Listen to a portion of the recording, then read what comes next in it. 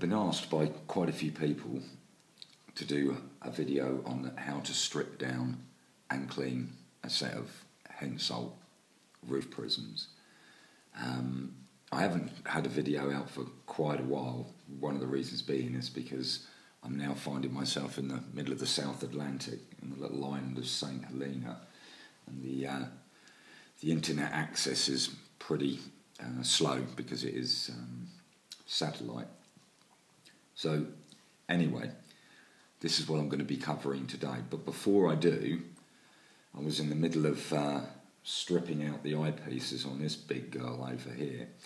I might, um, if anybody is interested, show how to do lens cementing and prism cementing at a later stage. Let me take you through these things before I set them on the floor. They're absolutely amazing. You come all these miles away from home and you come across a set of these. I'm sure you'll be interested in seeing them. I've never ever seen a pair of these before except once in Hans Seeger's book. These ones are numbered number three. How incredible are these? The only problem is some muppet has tried to get into them before, and uh, instead of taking his time, what he decided to do was to go in via there and look at the chips. I'm not sure if you can see it on the 120mm lens there, which is such a shame. But they are such magnificent beasts. Absolutely incredible. The, uh, the ocular was chipped, so I'm now have now taken it out. It also needed to be, it was rather cloudy, the cement was beginning to break up. So I'm in the middle of re-cementing that. But anyway, let's get back to what we're supposed to be doing, which is the roof prisms. I'll set these big girls on the floor because they are some weight. I've yet to, uh, to weigh them. They've got to go in excess of 40 pounds. They're absolutely huge. Massive things. But they're really quite basic. Once you get into them, there's nothing complicated about them at all. Anyway, where were we? Ah, yes, roof prisms. These are the little babies. Aren't they lovely? The only thing is with these, I'm missing the top disc. If anybody has one, I'll gratefully, gratefully pay a few quid for one of them because uh, I like them to be complete. But these are lovely little things. Now, um, the the strip down procedure is exactly the same for the 7x56, the 10x50s. Um, there is no, no uh, difference at all. What I'm going to do is, these ones are probably easier to work on. This is my set of 7x56 Pulitzer sardines glass. Lovely thing. So first off, let me show you the ocular strip down, which is exactly the same as any other binocular. It is a reverse thread, so if you grab the eye cup part, hold the diopter scale and turn. As you can see, that is a reverse thread. The more you go down, the looser it becomes. If you keep on doing this, as you will see, eventually it will come out beautifully. And remember, this works on every other binocular, whether it's roof prism, Poro 1, Poro 2, this is the way they work. And you see, that's what you've got. That's how you strip it down. I'll put this back because these are have already been cleaned. I've no need to uh, to take it right out. And to put them back, it's completely the reverse. Put them in, hold it, trying to get the angle on this so you can see it and I can hold it. And it's just completely reverse. Hold it and turn the top part of the ocular upwards.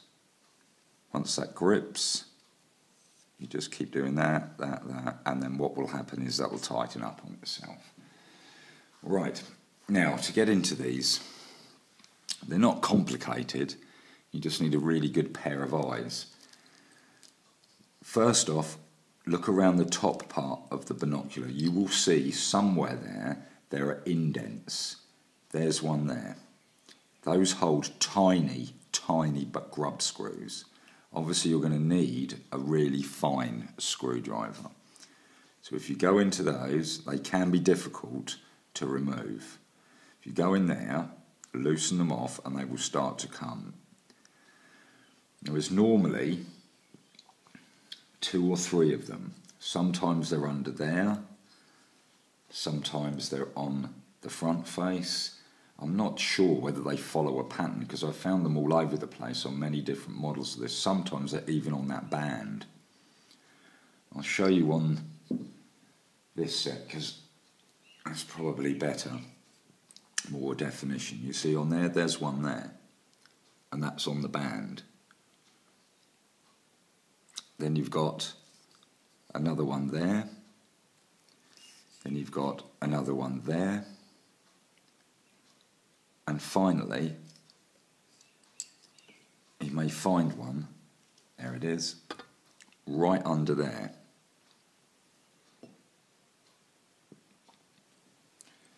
Once you've got these loosened off, as I'm sure you're all aware, biggest failings on these binoculars is the hinges. A lot of them are rotten a lot of them have had a lot of corrosion, so you have to be really, really careful here. Support it and hold it tight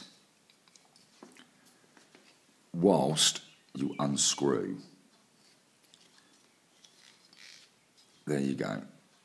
This is now, this will come right the way out.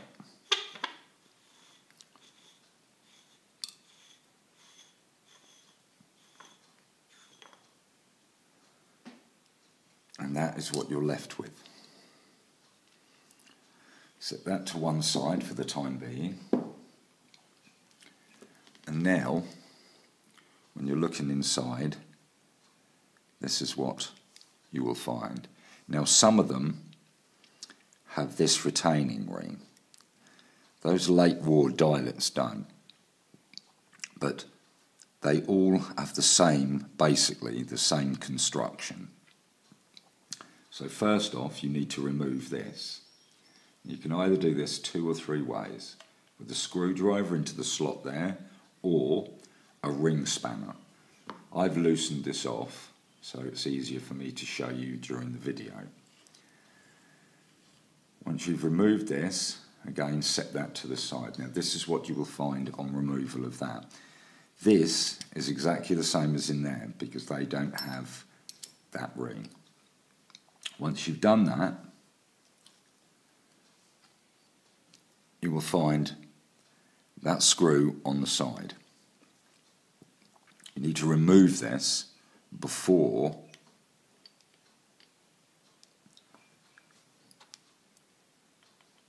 you can get into the prisms. Now note, you have a plate under there as well. See the little plate? That holds the whole thing together. And you'll see what it does in a minute once you remove it. So we remove the screw. And the retaining plate should just literally fall out. There it is. Don't be losing that whatever you do. Lose that, you're screwed.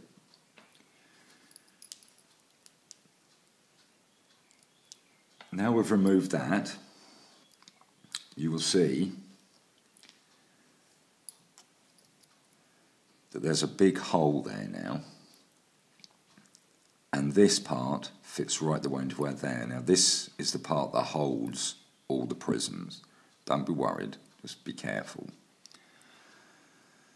Now, sometimes these will come out on their own accord, sometimes they won't.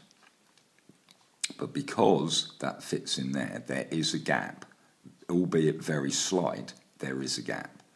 Now, what the aim of the next part is, is to remove this whole housing from this outer housing. So, nice and gently, put a screwdriver into that slot and prise it gently until you get a nice gap all the way around. Remember, this isn't a race. Even if it takes half an hour, it takes half an hour. Just gently, gently go round with a very fine screwdriver. Now you can see it's trying to come out now. Once you've done that, gently with it, try not to turn it.